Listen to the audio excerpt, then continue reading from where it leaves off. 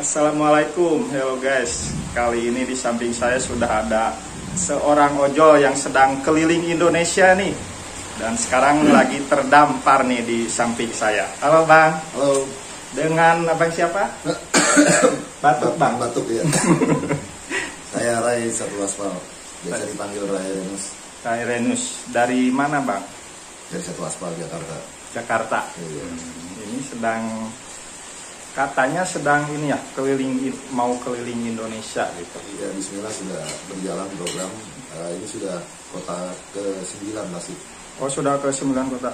Sebelumnya udah terdampar di kota mana aja? terdampar nggak apa ya? Iya, ada Labuan Ratu, Sukabumi, Cianjur, Bandung, Purwakarta, Subang, Sumedang, Garut.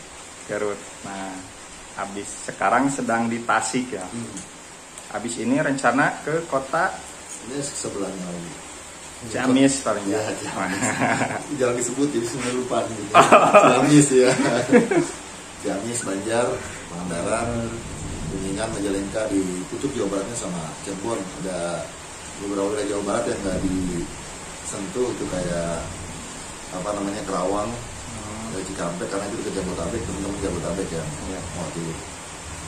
Jadi nanti juga lintas pulau juga ya. Iya, semua semua pulau yang ada ojolnya di Indonesia, Insya Allah ngopi bareng. Jadi ini tuh dalam rangka apa emang pengen keliling atau ada misi tertentu nih? Uh, silaturahmi aja silaturahmi uh, ini penutup uh, dari perjalanan keliling Nusantara ataupun gerakan-gerakan ke Nusantara lainnya Uh, ini penutup untuk uh, artinya setelah keliling Nusantara di tahun ini yang rencana 9 bulan akan selesai. Kemudian nggak ada lagi di saya pribadi untuk mewakili tim ataupun komunitas ataupun uh, kegiatan untuk keliling. Artinya paling bisa ke kota-kota lain dalam keperluan tertentu untuk keliling Nusantara ini buat saya penutup terakhir. Oh, terakhir. Sebelumnya pernah melakukan ini belum? kalau total semuanya ini yang keenam Yang keenam. Tapi yang kelilingnya beda-beda orang gitu. Apa saya abang? saya keenam saya penutup makanya saya penutup kemudian nanti kalau ada lagi satu Nusantara akan diganti sama teman-teman yang lebih muda misalnya abang Iya. Sendiri aja bang. sendiri sendiri Eh, maaf udah berkeluarga. Udah. Oh ditinggal tuh ya? iya Nggak apa-apa. Gak apa-apa pernah diajak juga dulu Oh udah diajak. Wanian. Ini di Tasik udah berapa hari? semalam baru datang baru datang hari ini eh, rencana sih ngopi-ngopi ya Iya, pokoknya semalam ngopi siang ngopi selamat datang di kota Tasik ya. Iya. Gimana ini disambut hangat nggak sama tuan rumah? Lebih dari hangat Udah kita ada. mau menjalin kehangatan berdua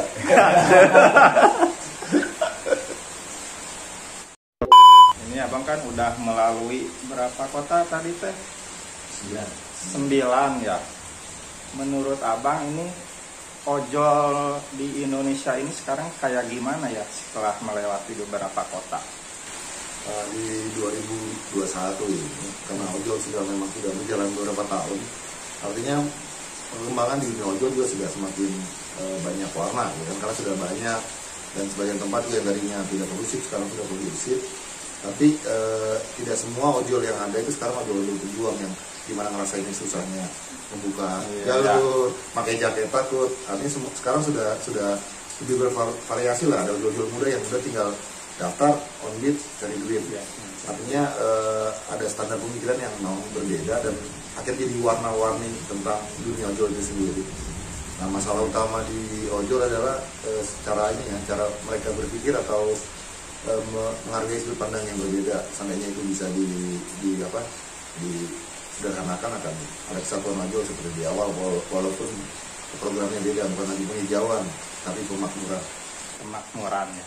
Ya kalau dulu kan kita berjuang untuk menghijaukan ya. iya menghijaukan warna merah Kalau sekarang tinggal memakmurkan aja. iya Tinggal kompaknya aja nih ojol. Oke bang, ini kan perjalanannya mengusung one man one bike ya? Judulnya. Judulnya. iya. Ini udah yang keenam. Jadi tiap tahun itu judulnya itu terus. enggak. Enggak? Pernah jelajah Nusantara. Jelajah Nusantara. Pernah silaturahmi Nusantara. Hmm, macam-macam. Ini kan perjalanannya kan jauh butuh modal yang gede dong. Enggak. Enggak? Enggak. Jadi nggak ada sponsor gitu enggak? Enggak ada. Nggak ada jadi abang ini dari yang saya baca tadi dari relawan ojol Nusantara ya iya ini kegiatannya apa aja bang kegiatan apa nih kegiatan relawannya atau kegiatan perjalanannya Hmm, mungkin pertama di perjalanannya aja dulu Yang yang, dulu. lagi dikerjakan Ya, jangan jelas silaturahmi, kita ketemu semua teman-teman di seluruh kota. Kita berpikiran tentang dunia ojol, tentang masalah ojol, tentang program-program ojol. Eh, buat teman-teman yang merasa ingin mengembangkan gerakan-gerakan ojol, ya kita bisa bertukar tukar pikiran, tukar pengalaman, ataupun masukan-masukan buat kita juga yang di Jakarta gitu. Tapi kalau teman-teman yang kurang ingin mengembangkan nggak begitu banyak partainya, kita juga biasa santai ngopi aja tanpa ada pembahasan yang penting-penting. nah sejauh ini bang pengalamannya menurut abang permasalahan ojol sekarang itu apa bang Pola pikir. pola pikir gimana maksudnya Eh, dunia ojol sendiri dibentuk atau dibangun adalah sebuah sistem untuk memperbaiki sistem yang lama, sistem transportasi, sistem pelayanan, sistem ketersediaan eh, yang tujuannya untuk eh, membantu masyarakat bergerak lebih maksimal dan ekonomi terus maju. Itu. Dan di sekarang eh, sistem itu sudah mulai berubah dari tujuan awal yang itu harus dikembalikan lagi. Itu kan dari kalau dari sisi aplikator ini gimana ada tanggapan Eh, kita nggak ada keterkaitan sama aplikator. Kita ojol kita ikatan driver ikatan pekerja ikatan penggerak bukan dari satu merek aplikator. Hmm, jadi kita dari itu ya driver ojol. Ya kita ojol segala gerakan kita dari ojol untuk ojol.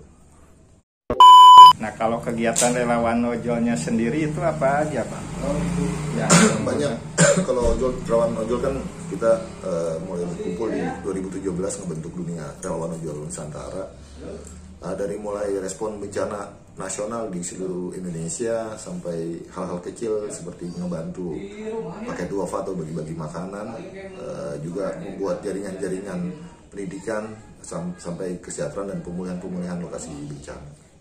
jadi relawan ojol ini pusatnya di mana Ya, di pusatnya di Jakarta. Jakarta dan ada cabang-cabangnya juga. Eh, kita nggak ada cabang. kepengurusan gitu. Kita nggak ada cabang. Relawan ojol cuma ada di pengurusan ada di Jakarta.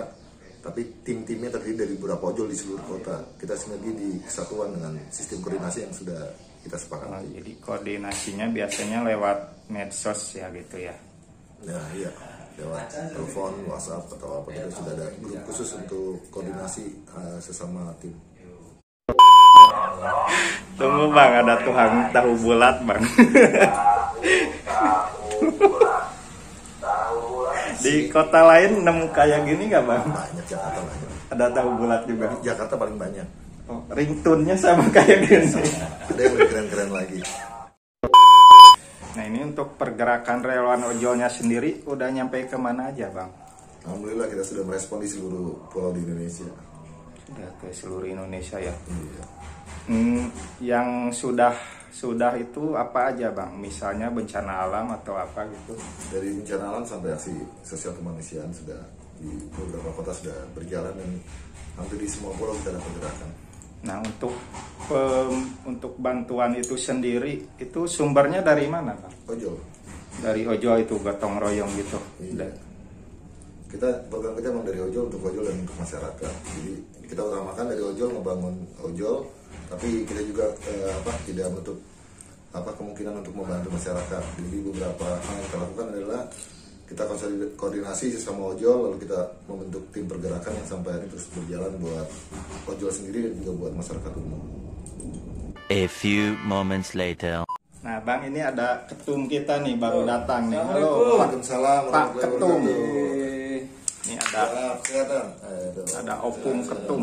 Ada Kopi, kopi. Gimana ini udah ini udah dikasih makan belum? Wah, Kasih beres. ngopi? Beres, beres. Oh, Beres, beres. Udah disambut hangat sama tuan rumah tuh. iya.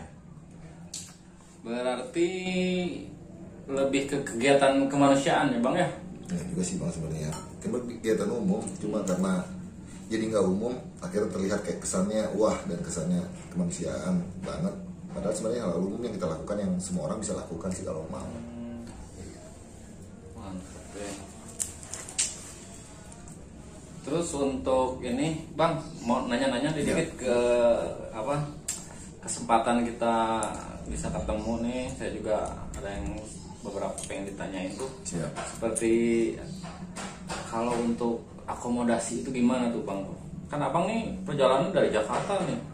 Iya. Bapak itu kan butuh bensin, butuh makan, butuh rokok. Nah, sedangkan Abang sendiri kan eh, ninggalin keluarga juga tuh. Ya, Nah, itu gimana tuh, Bang?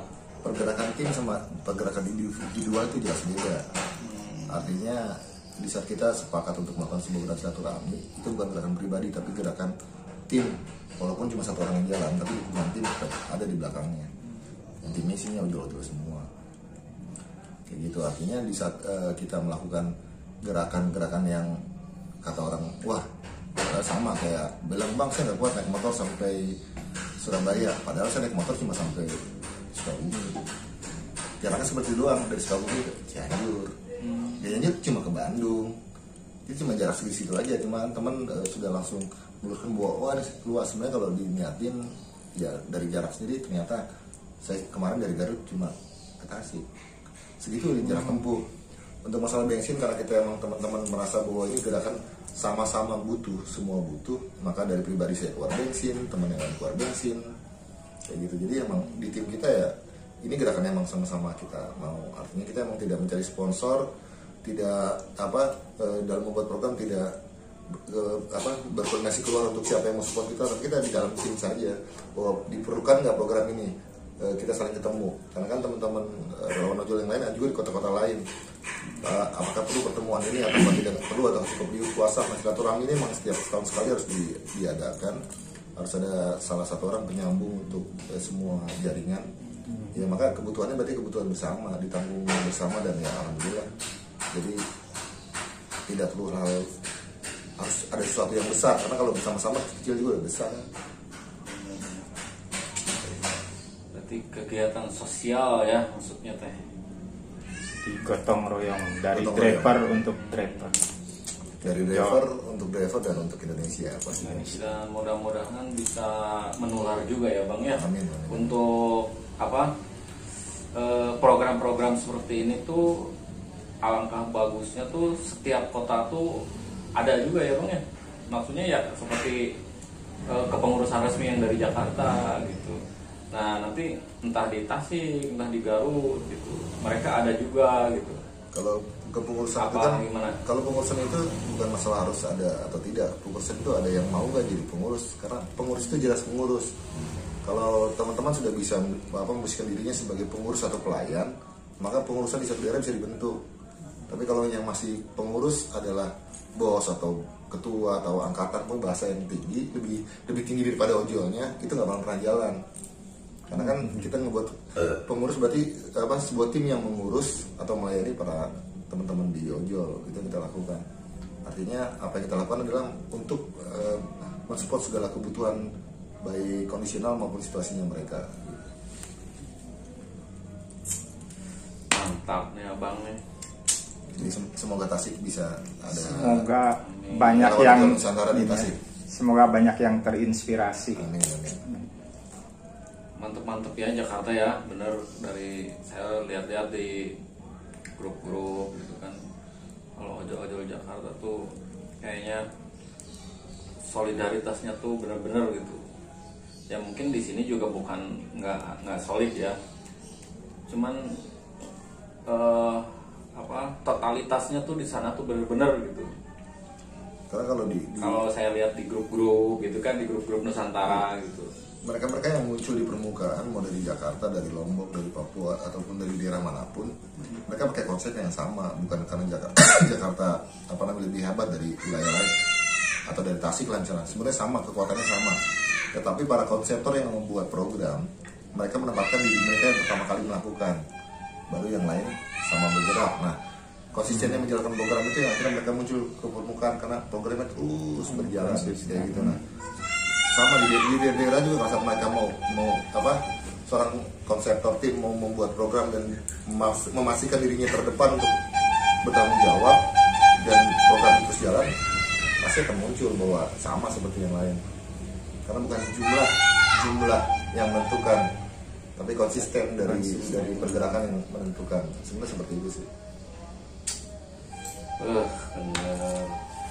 Nih di Tasik nih gak harusnya adain juga gak Ya ini kita mulai terinspirasi juga. mudah-mudahan di RSJB sendiri ada nih Iya.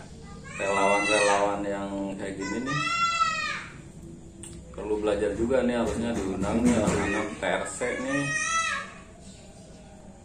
jadi Iya. bagus yang bang abang ini ikut dulu Ya, ikut ikut. Ajak bang ajak. abang yang mana ya maksudnya ya di antara dua ini. Ya ini ya karena kan biar biar ketemu sama teman-teman nanti dari beberapa kota di di provinsi kalau saya jebolan STI bang. Jadi nggak bisa jauh nih ST itu apa suami? Susi sungkul. lulusan STI saya jadi agak agak susah. Gitu. beda sama suami terpantau istri. Nyadar oke. jadi ka- kalau udah dua jam pergi nggak ada kabar serok ya kepantau rapi ya udahlah dari saya masih gitu pertanyaannya bang Ini ketum semoga terinspirasi ya. Bisa minimal ya di lokal aja dulu dikasih kan. siap cakep itu Nanti koordinasi sama Abang Ray.